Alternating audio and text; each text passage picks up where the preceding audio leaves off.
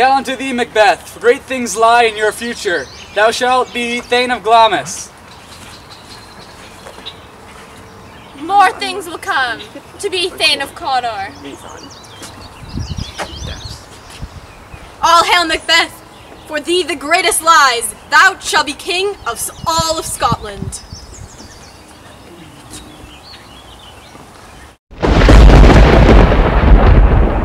Where did they go?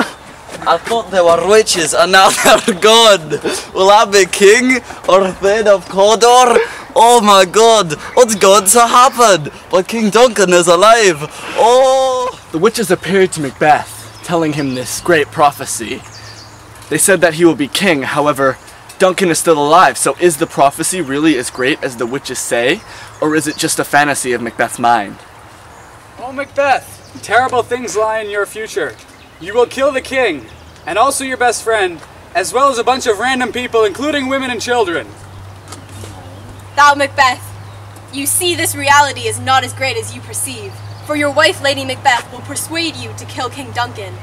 She will then go mental in the mind and end up committing suicide, all because of you.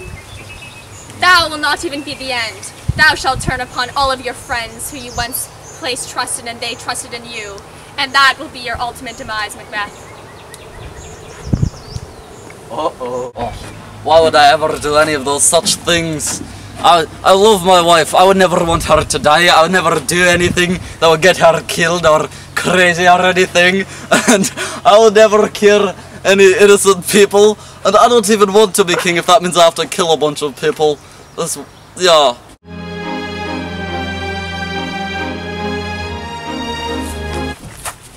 Great news! I'm going to be king of Scotland! But Duncan's king.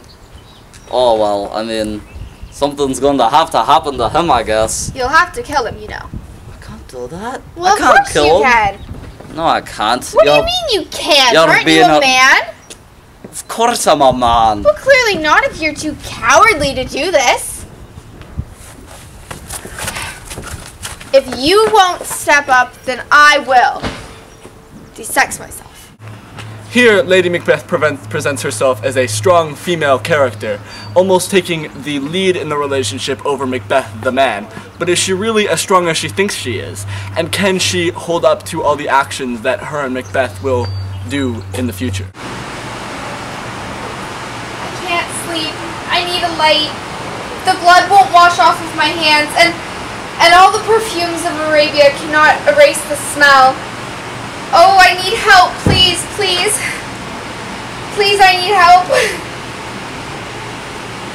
Oh Lord, what am I going to do? Oh, we killed Duncan, and and we got rid of Macduff's wife and son.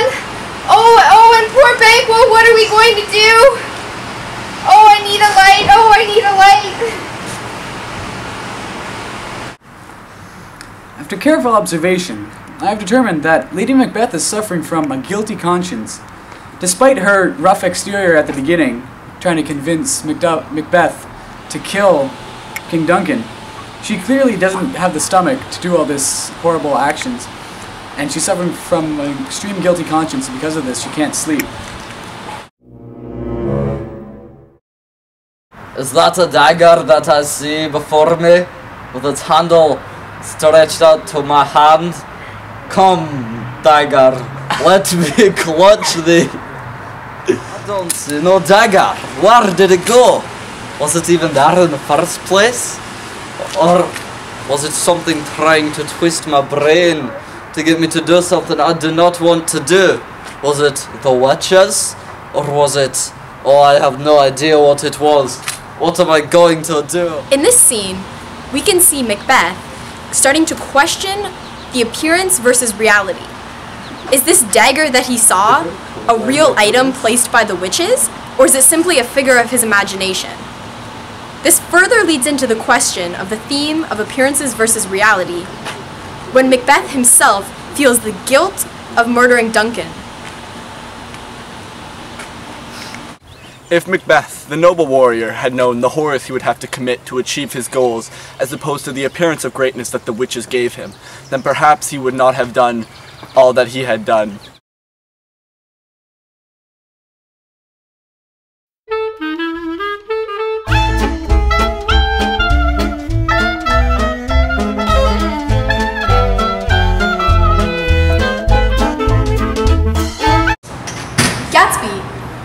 What they say?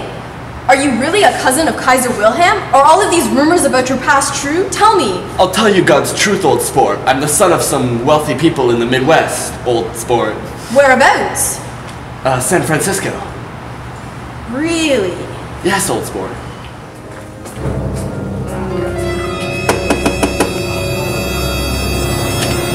Yes, hello, old sport. He, uh, wife kids are kind of sick again. Well, old sport, I have no idea what you're talking about. You see, see, I've been having these, these, these cramps in my leg. Oh. a lot of painkillers. Oh, okay, yeah. I, any of those? I think I, I think I know what you're looking for, old sport. Just, just give me a minute. Thanks.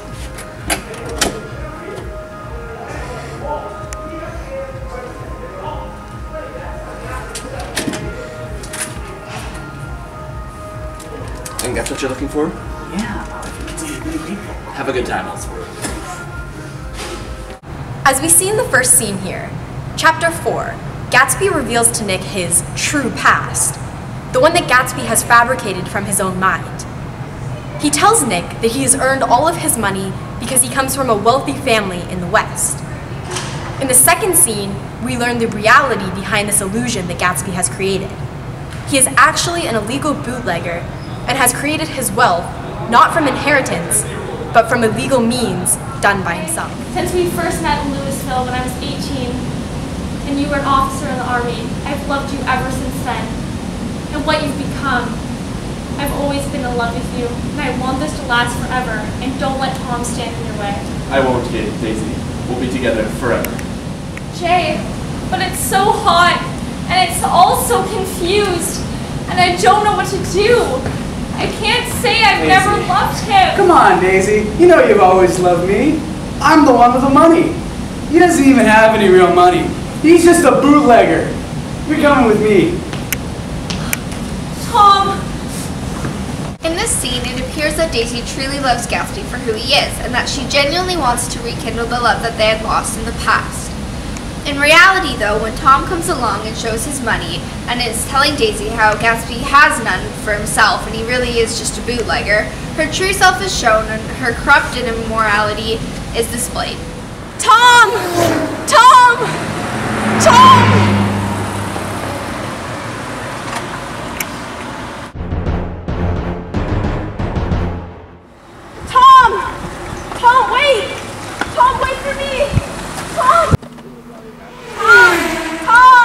My god! Oh, Gatsby!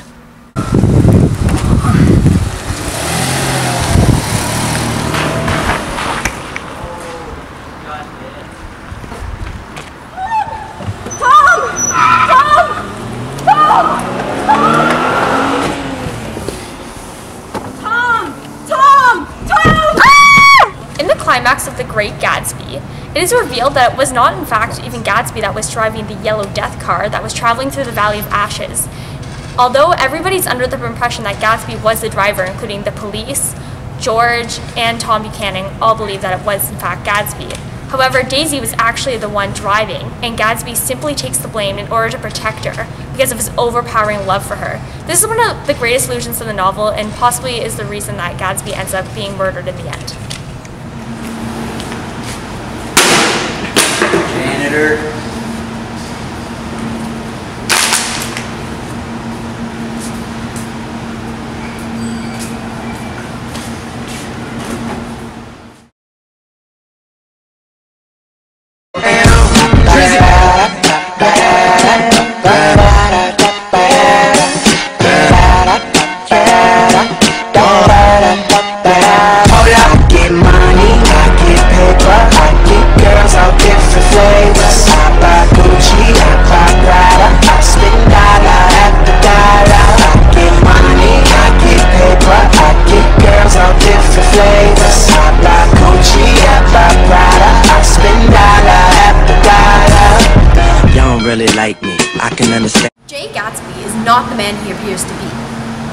He was actually educated at St. Olaf's College in Minnesota and worked there as a janitor to afford his tuition.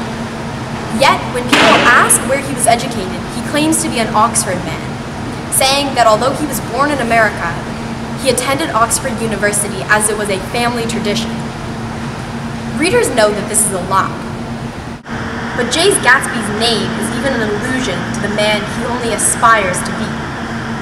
Born Jay Gatz, it is only the appearance that he attended Oxford University, and not the reality that appears to be. You see, it is all a facade. Although Macbeth and The Great Gatsby were written in two distinct places and time periods, they prove the same reality. Not everything is always what it appears to be.